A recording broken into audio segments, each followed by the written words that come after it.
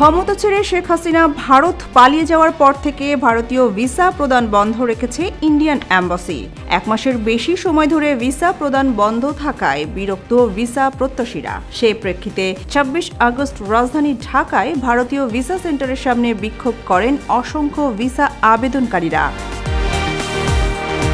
বিক্ষোভে বিভিন্ন স্লোগান ব্যবহার করেন তারা। স্লোগানে, এক দফা এক দাবি, ভিসা চাই ভিসা চাই। ভিসা দে, নইলে টাকা ফেরত দে।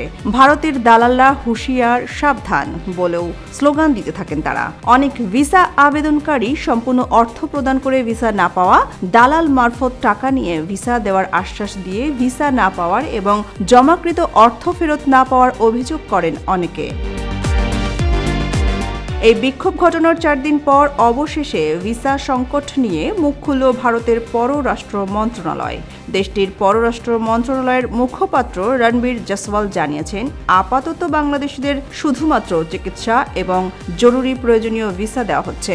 তবে এই কার্যক্রম চলছে সীমিত পরিসরে।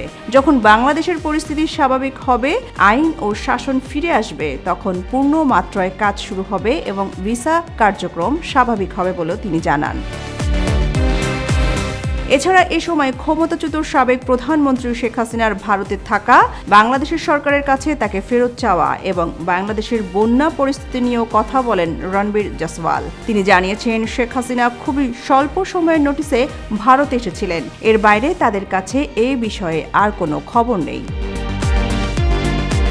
বাংলাদেশের সাম্প্রতিক বন্যা পরিস্থিতি নিয়ে ভারতীয় এক কূটনীতিক দাবি করেন, বাংলাদেশের যে ভয়াবহ বন্যা সৃষ্টি হয়েছে তার জন্য ভারতকে দোষারোপ করে মার্কিন সংবাদ মাধ্যম সিএনএনএ যে প্রতিবেদন প্রকাশ করা হয়েছে তা কোনোভাবেই সঠিক নয়।